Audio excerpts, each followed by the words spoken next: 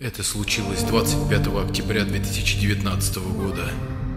День полный скорби, печали и утраты. День, когда надежда умерла. День приспоказа Терминатора Темной Судьбы. Приветствую! Изначально это видео должно было стать эдаким трибьютом, посвященной франшизе под названием «Терминатор». Какие темные времена она пережила и что из себя представляет последняя часть. Но в итоге данное видео станет лишь трибьютом моего пылающего пердака. Темные судьбы, дорогие друзья. Господи, как это было плохо! Вы будете молиться о том, чтобы пришел Уилл Смит и стер вам память после просмотра этого месива. Это просто поразительно. Уважаемый Тим Миллер, будь вы где-нибудь поблизости, я бы с радостью пожал вам руку, предварительно харкнув в нее. Боже, как это было плохо! В чем же главная трагедия этой картины? Да в том, что ее курирует Джеймс Кэмерон. Он был ответственен за сюжет и продюсировал ленту. Посему фильм является прямым и типа правильным продолжением «Судного дня». В то время как «Восстание машин», да придет Спаситель и Генезис отныне считаются не каноном и отправляются в помойку. Посему нам очень активно подчеркивали, насколько первые два фильма важны. Да и тут несложно согласиться. Многие из вас знают, насколько для меня это важные картины, особенно вторая. К слову, самый сок Терминатора по мне заключается в голосе самого Арнольда. Забавно, что изначально его не хотели брать на эту роль из-за его довольно нелепого австрийского акцента, но Джеймс Кэмерон умудрился сделать из этого фишку. И в итоге его I'll be back нужно слушать только в оригинале, но для этого нужно знать английский. И как раз наши друзья со Skyeng проводят бесплатный онлайн-марафон «Сформируйте привычку учить английский». То есть ты через ВКонтакте получаешь 15 полезных сообщений и советов. Идея марафона в течение 15 дней выполнять простые задания по английскому, чтобы привыкнуть и ежедневно по чуть-чуть изучать язык. Понимать штуки и мемы в интернете, как поддержать любую беседу, смотреть кино и сериалы в оригинале, читать новости в мировых изданиях, что весьма полезно. И все это будет на марафоне. 20 минут в день и вы на шаг ближе к лучшему нашему будущему. И думаю, будущему без злых машин. Там же можно выиграть бесплатный курс английского, посему переходите по ссылке в описании и теперь давайте о плохом. Короче, создатели решили сделать лайтовую перезагрузку, посему после просмотра многие западные журналисты сравнивали фильм со Звездными войнами пробуждениями силы, то есть старая история на новый лад с новыми героями, а старики бегают где-то на бэкграунде, чтобы хоть как-нибудь загнать олдфагов в кино. Забудьте про Skynet, это уже не актуально, теперь у нас есть ли...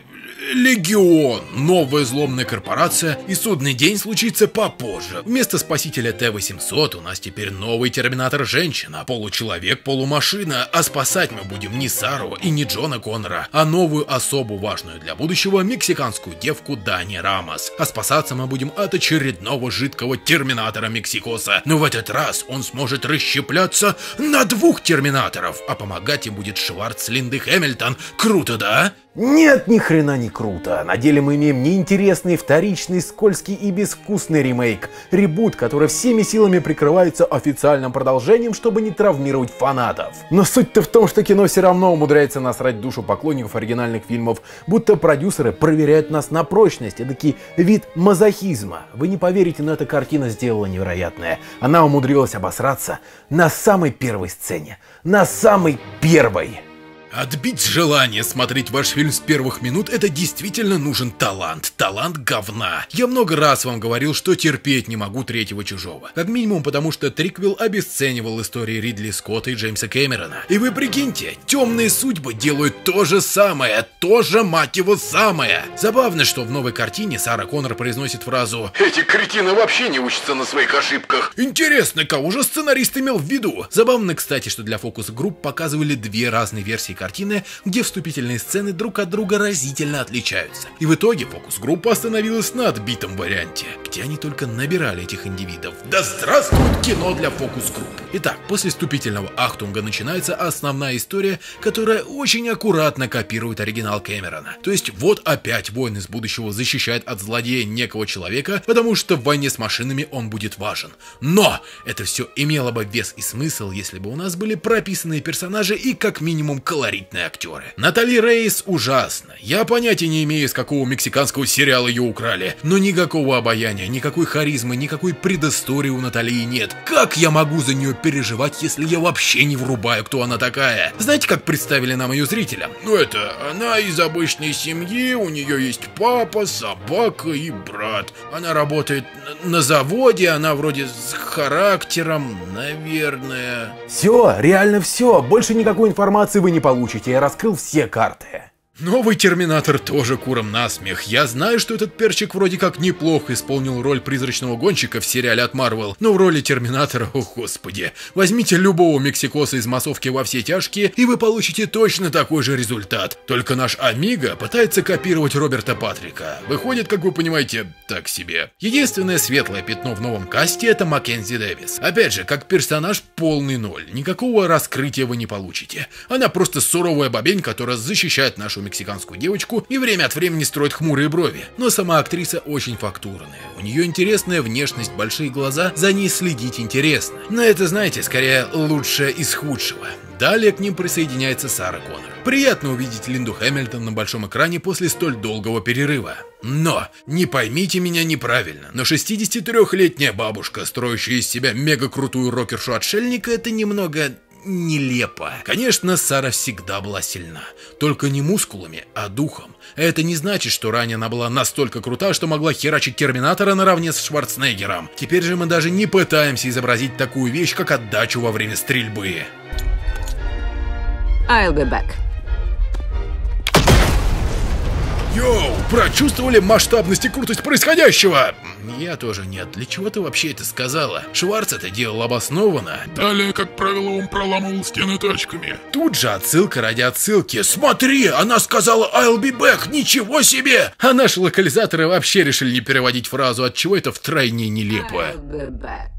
Это настолько смешанное, неправильное и даже капризное чувство. То есть я всеми фибрами души хотел вновь увидеть Сару Коннор на большом экране. И фильме такой говорит, да на, подавись. Но только это не та Сара, которую я хотел увидеть. И своим хмурым пафосом она начинала лишь раздражать. И вот на сцену выходит Арнольд. Арнольд, как всегда, прекрасен и хоть как-то начинает раскачивать картину. Но, во-первых, у него ну максимум 15 минут экранного времени. А во-вторых, история, вернее, идиотский сценарий, умудрился сделать так, что нам очень неловко сопереживать Шварцу, потому что его сделали ублюдком. Вернее, антигероем, который понаделал говна в прошлом и сейчас искупает свою вину. Машина искупает ай, забейте. Но образ героя моего детства поднасрался просто феноменально. Знаете, что самое забавное? Что к финалу ленты я поймал себя на мысли, что если убрать из фильма и Линду, и Арнольда, концентрируясь на этой новой троице, сюжет вообще никак не изменится. От чего рождается мысль, будто создатели намеренно брали стариков для того, чтобы ну хоть как-то зазвать народ на этот никчемный фильм. Ну хоть как-нибудь. Но после всех предыдущих попыток возвращение того же Арни не кажется таким феноменальным. И да, в этот раз Терминатор следует по канону первых двух частей,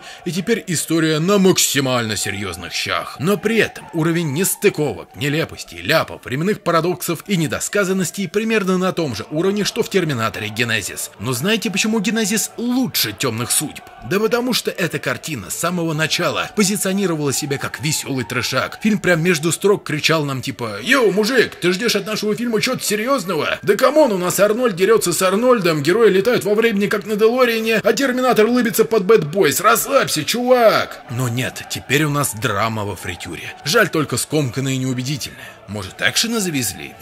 Да, графика и хореография получше, чем в пресловутом Генезисе, но это не отменяет того факта, что ни одной запоминающейся сцены вы не увидите. Я за день до показа пересмотрел переиздание «Судного дня» в своем задрипанном химкинском кинотеатре, и даже при таких условиях умудрился вжиматься в кресло.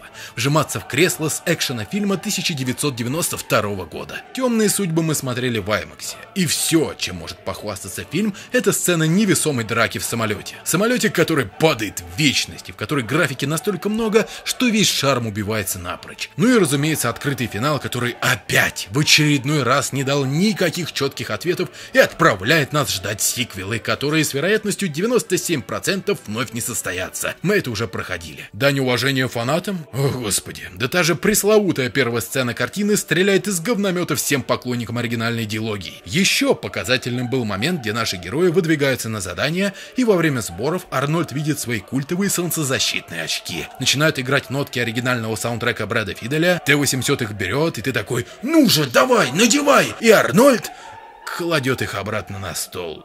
И что вы хотели сказать этой сценой? Типа между строк заявить «Йоу, те времена прошли, настало время новых героев и новых свершений». Это что ли? Да пошли вы в задницу с такой риторикой. Это даже заметно, как сценаристы ленты поменяли культовые фразы из оригинала. Теперь Арни вместо «Я вернусь» говорит Ты же понимаешь, что я не вернусь. А вместо «Идем со мной, если хочешь жить» Идем со мной, если хочешь прожить дольше 40 минут. Слушайте, ну теперь совсем другое дело. Прям новый взгляд. Как лихо вы перевернули игру. Смотрите, бумагой не поперхнитесь. К слову, не беспокойтесь. Никакой атмосферы Тим Миллер нам не завез. Больше никакого чувства безысходности, никакого нуара, никакой тревожной музыки и футуристичной синей цветовой гаммы.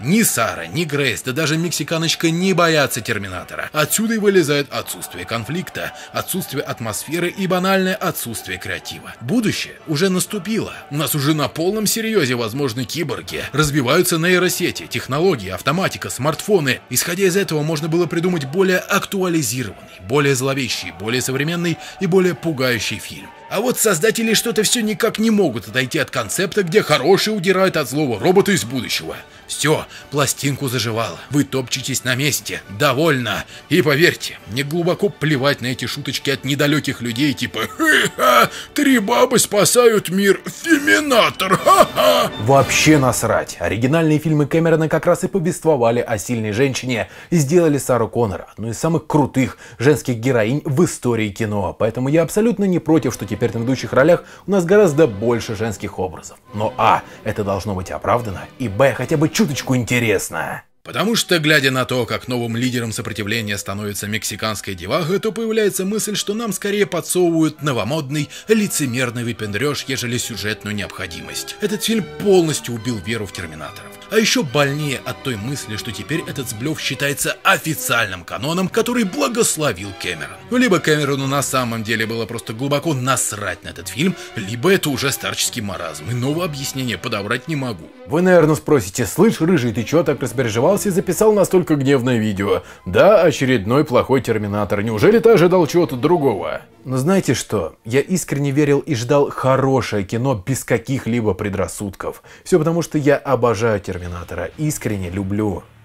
Терминатор 2. Судный день был, наверное, первым моим большим фильмом детства. Я обожал этот сюжет, я обожал этих героев, я обожал эту историю, я обожал эту атмосферу. Для меня это великий, инновационный и важный фильм, благодаря которому я захотел связать свою жизнь с кино. Именно поэтому я умудрился в свое время слепить и киномыло, и игромыло. Для меня эта франшиза действительно важна. И вот теперь я вижу, что человек, ответственный за оригинал, прикладывает руку к этому нечто под названием «Темные судьбы». Зазывает оригинальных актеров, продюсеров Продюсеры, прикрываясь ностальгией, лепят тошнотворный ремейк, тычут пальцем и говорят «Смотри, это возвращение в детство, смотри, это канон, посмотри нас, посмотри!» И в итоге со всего размаху бьют членом по лбу.